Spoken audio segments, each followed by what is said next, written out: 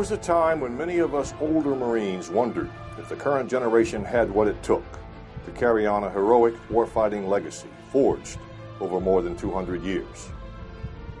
Would they be able to endure the harshness and the rigors of combat? Would they rise to the level of valor that has traditionally been the hallmark of our Corps?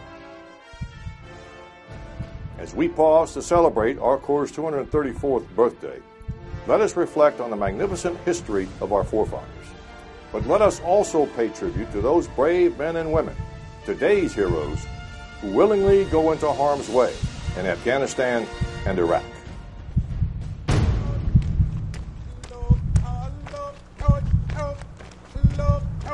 Get off my bus! Being a Marine is not for the weak. I'll tell you that. We don't join the Marine Corps to go to college. Let's go! Move fast! We don't join the Marine Corps to make a lot of money. Move fast! We join the Marine Corps because we want to be the best. Passing through these hatches symbolizes your transformation from a civilian to a United States Marine.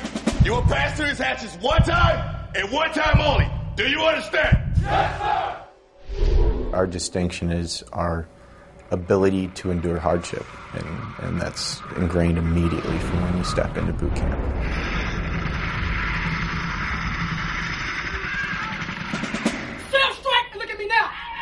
She was like five one, but her confidence made her look like she was like six foot tall. Take a stance right now!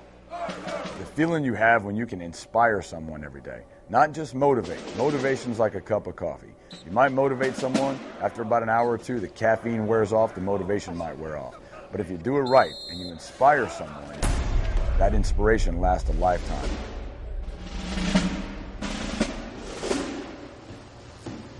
And I remember my first impression was if the Marine Corps is full of people like this and leadership like this, I made the right decision to join the Marine Corps.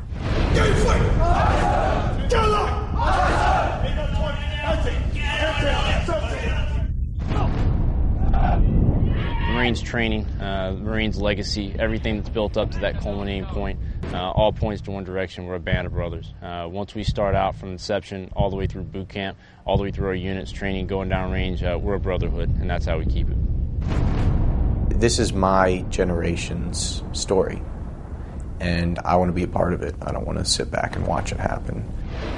This generation's story is one of courage, selflessness, and devotion to duty. In just one example, on April 22, 2008, two young Marines, Corporal Jonathan Yale and Lance Corporal Jordan Haerter, were standing guard at an entry control point in Ramadi, Iraq, when they added their heroic story to the legacy of our Corps.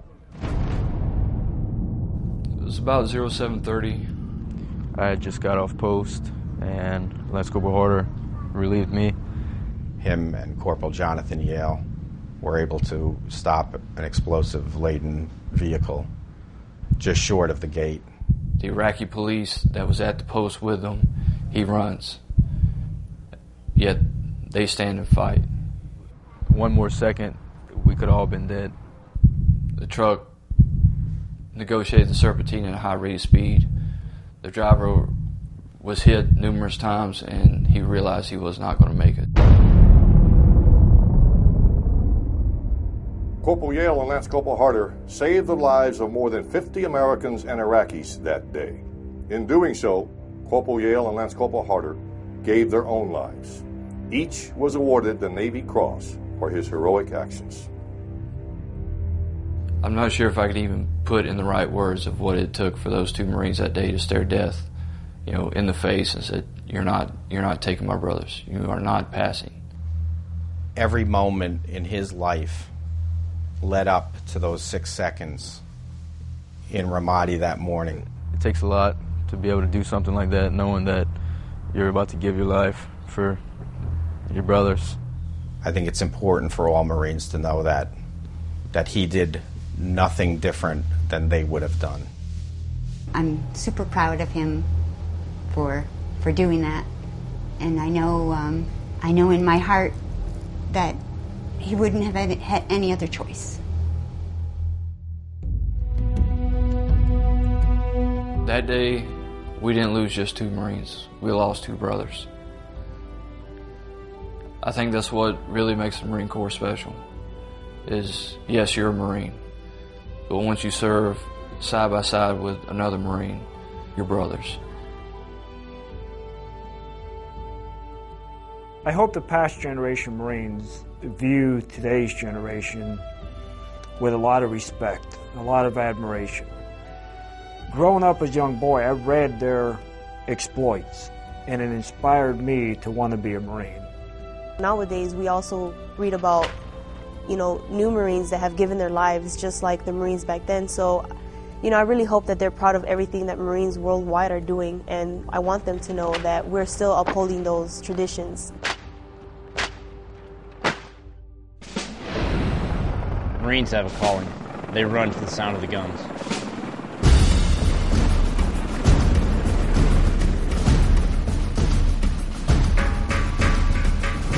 Today's Marines are still the same as any Marines of the past.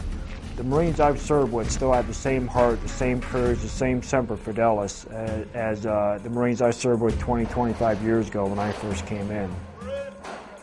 It's very interesting to view a situation that you think has no solution to it, and then have your uh, PFC or your Lance Corporal suggest something to you that's so seemingly simple that you wish you'd thought of it yourself. I'm proud to have served, and I'm proud of the Marines today. People know that there's a conflict still going on in Iraq, a conflict in Afghanistan's picking up, but yet people are still coming in. There's a mission that has to be accomplished, but when it all comes down to it, it's that guy to your left and the guy to your right, and the guy behind you pushing you forward. I'm convinced that today's Marine is just as concerned with legacy of being a Marine and the valor that goes with that as there has ever been at any time in the past. It's amazing the reason for which Marines fight. To give your own life for a fellow Marine is, is almost instinctive. Uh, as Marines, we would never want to see one of our fellow members go down. And if it means our own life, then absolutely we're ready to do that. Marines fight because it's in our blood. We're gladiators, we're warriors. It's in our spirit. And it's what we do best and we do better than anybody else in the world. And that's why the Marines will always be victorious.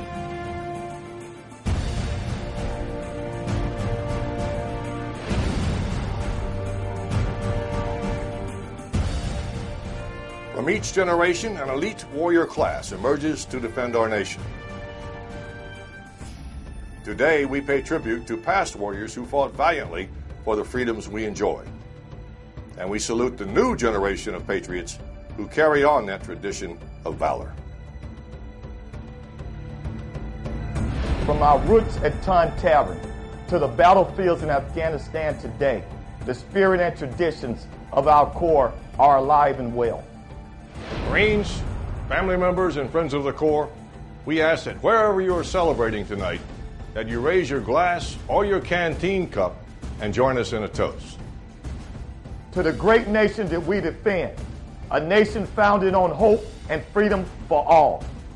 To those fine warriors who no longer wear the uniform, and to those who have gone before.